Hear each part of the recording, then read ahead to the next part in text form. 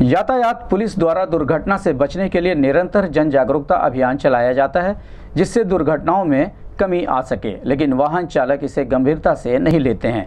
दुर्घटनाओं को कम करने के लिए पुलिस अधीक्षक यातायात आदित्य वर्मा ने एक अनोखी पहल शुरू किया है। पुलिस अधीक्षक यातायात ने प्रतिदिन ऐसे लोगों को पूछताछ के लिए यातायात कार्यालय में लाती है, जो लोग हेलमेट नहीं लगाकर गाड़ी चलाते हैं। उन सभी वाहन चालकों से एक फॉर्म भरवाया जाता है, जिस पर नाम पता मोबाइल नंबर, वाहन संख्या, शिक्षा, व्यवसाय और हेलमेट ना पहनने की वजह लिखना पड़ता है। वाहन चालकों से कोई कठोर कार्रवाई ना करते हुए आगे से हेलमेट लगाकर चलूँगा, लिखवाकर और जो लोग लिखने में असमर्थ थे या अनपढ़ थे, उनसे अंगूठा लगवाया और शपथ पत्र भरवा कर छोड़ दिया। इस संबंध में गोरखपुर न्यूज़ संवाददाता से बात करते हुए वाहन चालक और पुलिस अधीक्षक यातायात आदित्य वर्मा ने कहा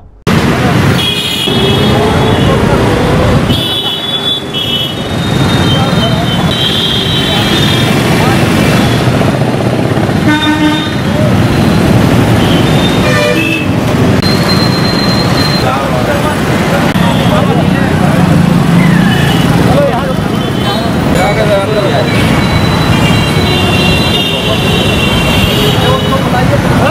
भाई आप लोग हेलमेट क्यों?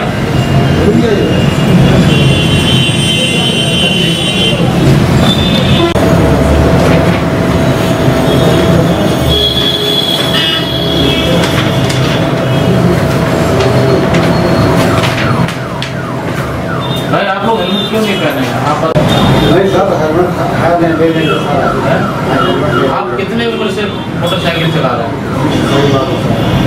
नहीं कितने साल से मोटरसाइकिल चला रहे हैं? आप बताओ ना। लेकिन आज जो है आप जो है आज आप कह रहे हो हेलमेट खरीद लेंगे ये तो बेवकूफ़ बनाने वाली बात है ना। सर था उसका शीशा टूट गया सर क्या गिर पड़े थे क्या?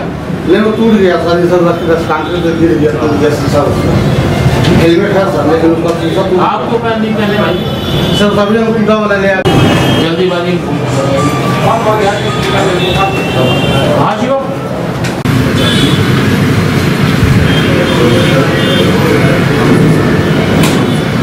सर अच्छा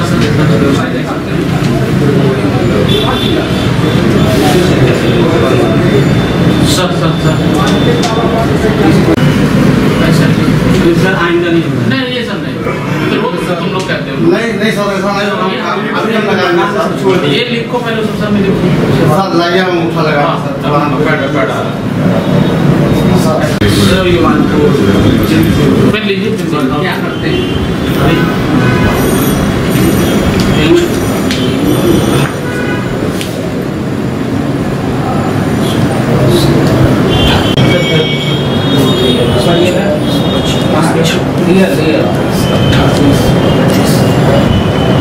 चालू हो जाओ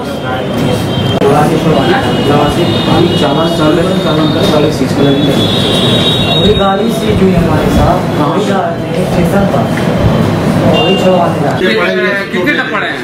अरे नहीं साहब सही पढ़े हो क्या करते हैं?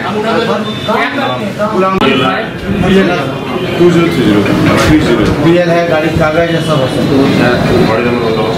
गाड़ी नंबर क्या करते हैं? अभी ना पूरा डिटेल नोट कराओ सब डिटेल हो गया सर। हमारा हेलमेट पहले लो हाँ? सौ बार को अभी इसने चालू नहीं किया। है समझ में नहीं आ रहा है? में बोलिए। उदय जायसवाल। अभी क्या यातायात पुलिस ने आपको पकड़ा क्या बिना, हेलमेट चलने चलान करने लिखाया है कि आगे, आगे से हेलमेट लगा के चलेंगे। तो क्या कहेंगे? आगे से हेलमेट लगा कर ही चलेंगे। और और जो आप लोग के जो पर्चे थे खास उनके लिए क्या सभी को लिए। सर किस तरह का अभियान सर चलाया गया ये हम लोग लोगों में यातायात जागरूकता नित्य प्रोत्साहित कर रहे हैं। जैसे भी लोग दिखाई पड़ते हैं हम लोग उनको एक तो दंडात्मक कार्रवाई है। एक एक लोगों को शैक्षणिक रूप से हम लोग कर रहे हैं। कि वो कम से कम अपने ज़िम्मेदारी एहसास करें। हेलमेट लगाने, ना लगाने के क्या फ़ायदे हैं, क्या नुकसान है, ये सभी चीज़ें उनको पता होना चाहिए। तो हम लोग बैठा के उनको यहाँ पे काउंसलिंग टाइप ही करते हैं। और उनसे शपथ पत्र भरवाते हैं कि हम लोग कल से हेलमेट पहनेंगे। बावजूद भी देखा जाता है कि लोगों में जागरूकता भी पैदा हो पा रही है सर के अंदर लिए नहीं धीरे धीरे जागरूकता आ रही है, ऐसा नहीं है, जागरूकता नहीं आ रही, लेकिन चूँकि जनसंख्या इतनी है तो उसको कवर करने में समय लगता है। या तो लोग अवेयर हों अवेयर नहीं तो अवेयर करने में समय लगता है, और हम लोग कोशिश कर रहे हैं कि सभी लोगों को जो है हम लोग अवेयर करें, और अपनी ज़िम्मेदारी का एहसास करें लोग यातायात नियमों का पालन करें, हेलमेट पहने, तीन सवारियाँ ना चलें, सीट बेल्ट लगाएँ, और बच्चों को ओवरलोडेड टेंपो में न ले जाएँ, स्कूल छात्रों को ओवरलोडेड टेंपो में न ले जाएँ, और स्कूल में जाने वाली बसें हैं, वो भी अपने मानक के अनुरूप, जैसा माननीय सर्वोच्च न्यायालय द्वारा एवं हमारे उच्च अधिकारियों द्वारा निर्देशित किया गया है।